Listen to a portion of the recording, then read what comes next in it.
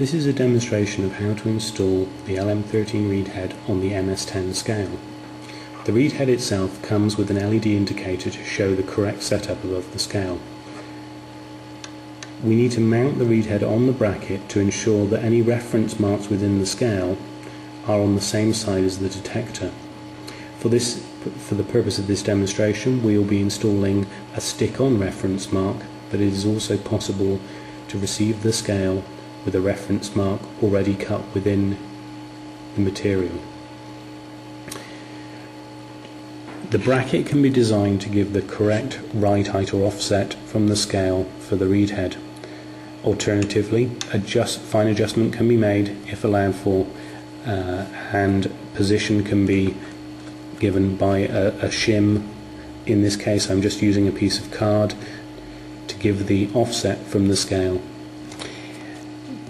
For optimum performance, we suggest that the head is as close to the scale but does not actually contact the surface.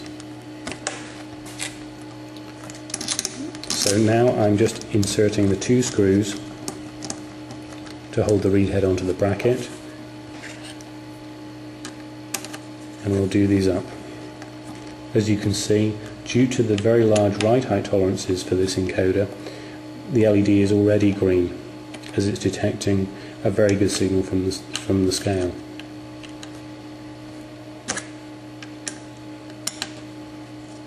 and now we'll remove the card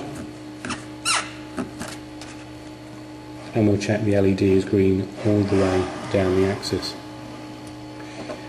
Now what we can see is we've actually come over the end of the travel of the axis and the LED has gone green as we've gone beyond the scale itself, proving that it is also working correctly.